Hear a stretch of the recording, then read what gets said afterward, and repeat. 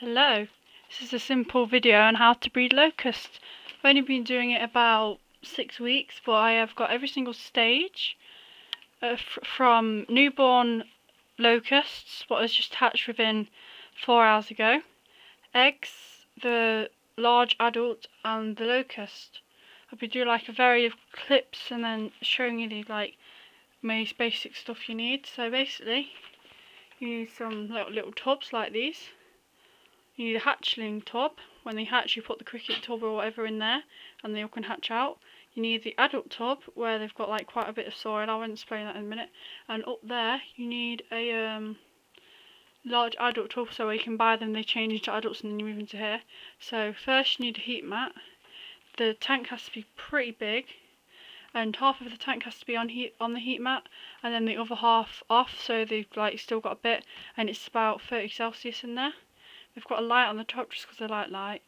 And um, we've got quite a lot of cabbage. I spray them even though you're not supposed to give them moisture because it can kill them or something. But I give them spray like every other day so the environment don't get dry. And I also spray the soil so that doesn't get dry. So when they lay in their eggs, it's pretty deep. I put my finger to put it like that. Like finger's worth of soil.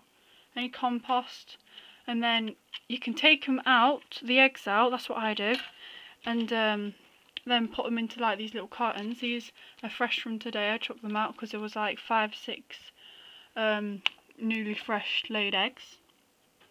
I'll show you the, um, see I've got this little guy here, he's newborn locust.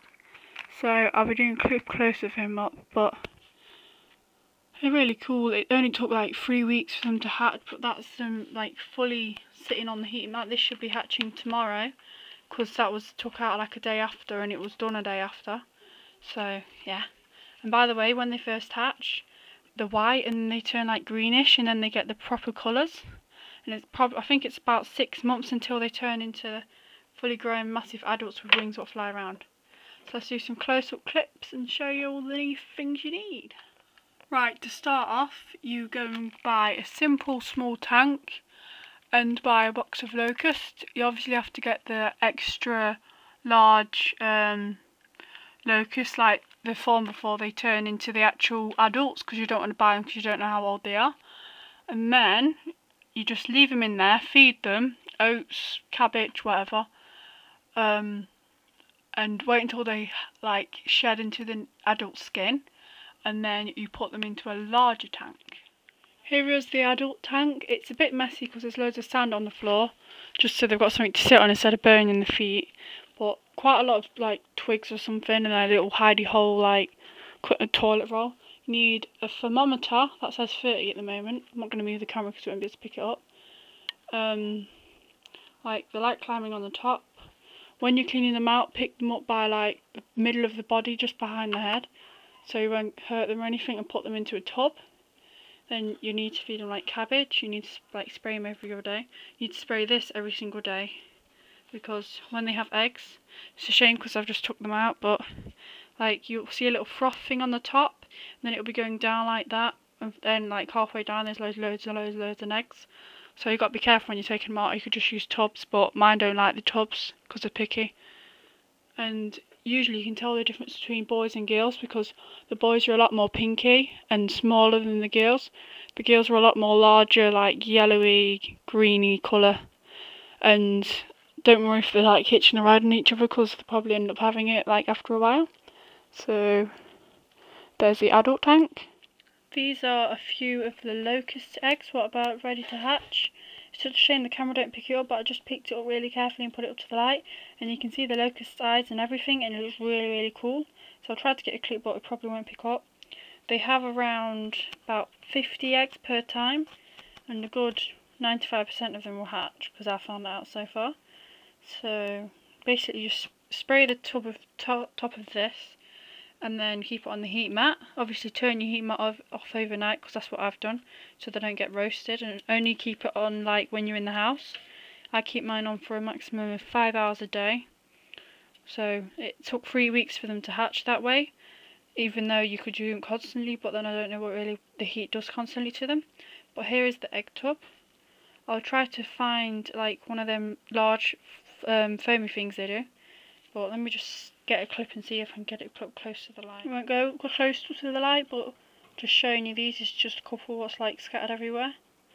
You can see when like just before they're ready to hatch, you can see a black eye and then like the outline of them. It'd be really cool if I could get a video of one of them hatching, so hopefully if I watch these all night I might get something, but I think I'll fall asleep, so let's show you the other kind of egg case you'll see. Here's another egg example you'll see. It's all foam and then at the bottom it starts to show a load of eggs. There's another 50 eggs hidden underneath the soil and I don't disturb them. These are already about a week or two old and they're really really big because they're really thin and like stringy when they first laid so after a couple of weeks you'll slowly see them progress into their natural form which I'll show you. Here is the hatchery. Obviously this is the first time I've ever had locust babies so I'm really excited. You can see them like little guys all over the leaves. There's like one at the um, plastic tank here. Little tiny tiny dude. I put my finger next to him. Like they're really really delicate and small. There's my finger next to it. There's the egg box. There's still eggs to hatch. I'm going to try to open it.